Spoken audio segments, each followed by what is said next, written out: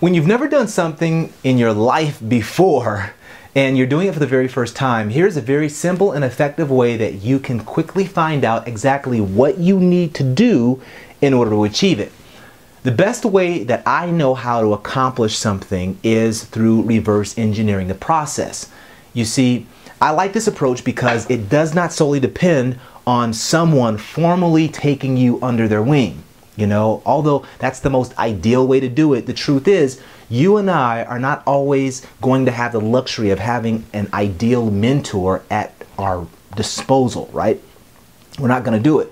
Reverse engineering allows you to create virtual mentors out of virtually anybody that you identify is getting the kind of results that you want.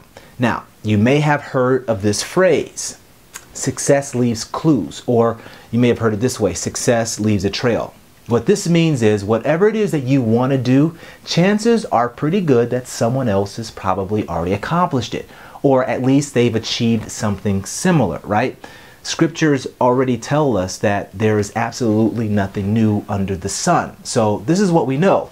And granted, there are special cases where this rule of thumb certainly doesn't apply to the letter, but we can all agree that this idea or concept of reverse engineering, um, the, the essence of it or the wisdom behind it is always true. Reverse engineering is simply a process of discovering the most important principles and pathways that lead us directly to our desired outcomes, starting from the end result that we want and then working our way backward to where we are.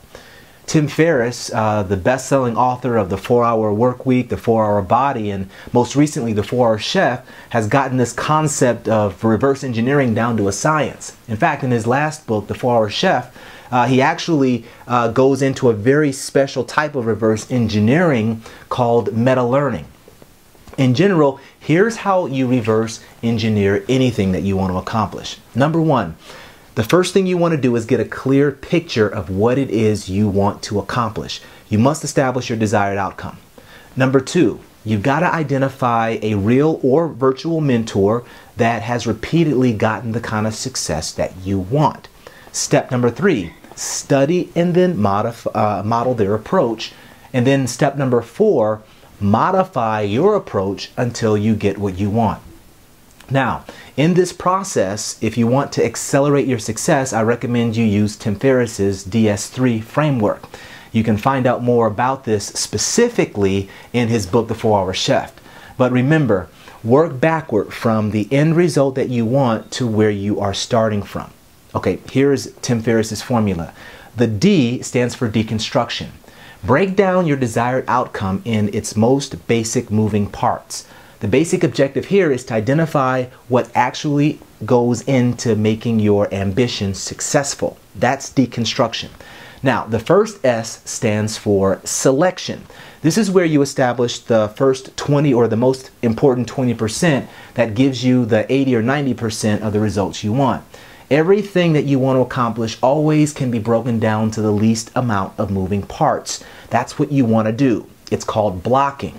Here is where you want to uh, selectively block out all of the moving parts into their essence. Okay, the essence of the 20%, that selection. The second S is sequencing.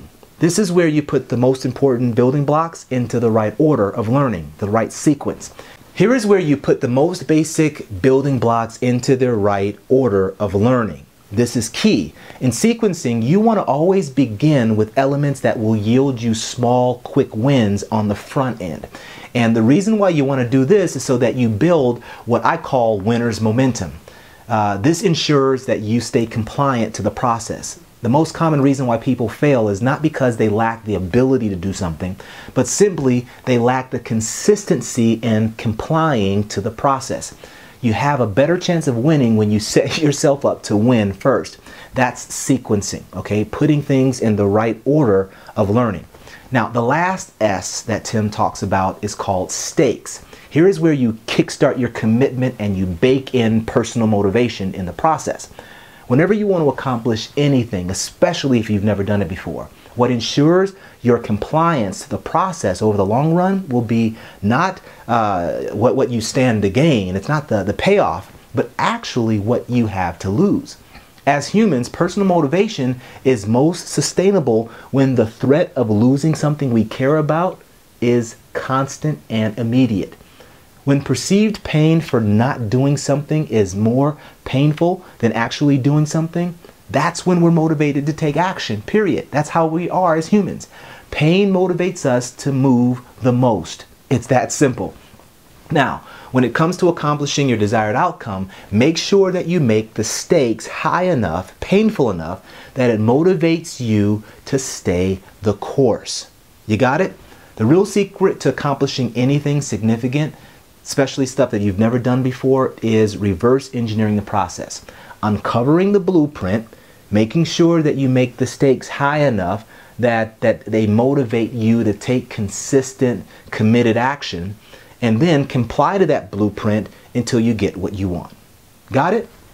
When you faithfully do this, my friend, you will not have to worry about finding success because success will have its uncanny way of finding you. When you reverse engineer it, that's what happens. Well, at least most of the time. All right. Well, Guys, I hope that what I just shared serves you well. Go out and apply it, test it, and I'm really interested to find out how reverse engineering works for you. Okay, so make sure you come back and share in the community, share with the community, uh, comment on the blog here, whatever it is.